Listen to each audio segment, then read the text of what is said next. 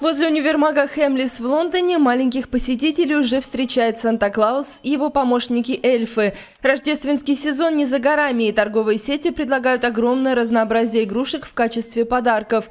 А эксперты уже составили рейтинг самых продаваемых и популярных. Эти мягкие игрушки в форме подушек под названием Squishmallows разбирают как горячие пирожки. Их 20-сантиметровые вариации продаются по 11 долларов за штуку. Бум на них начался еще в начале года.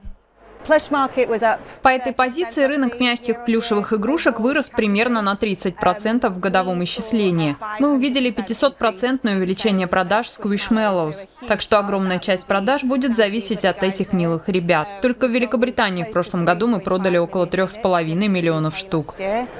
Хемлис – старейший в Лондоне магазин игрушек. Здесь большой популярностью также пользуется самолет из нового полнометражного мультика «Щенячий патруль Мегафильм». Это летательное средство главной героини мультфильма с вращающимися крыльями продают по 60 долларов за штуку.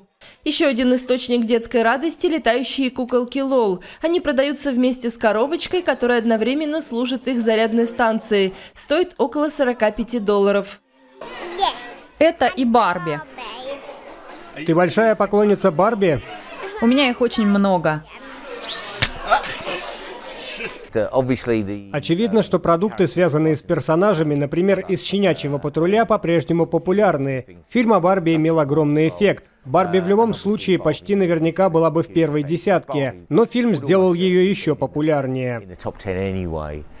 Среди других популярных игрушек – лаборатория по созданию монстров от компании Мус, интерактивные игрушки Fingerlings, замок в стиле Гарри Поттера от Лего и многие другие.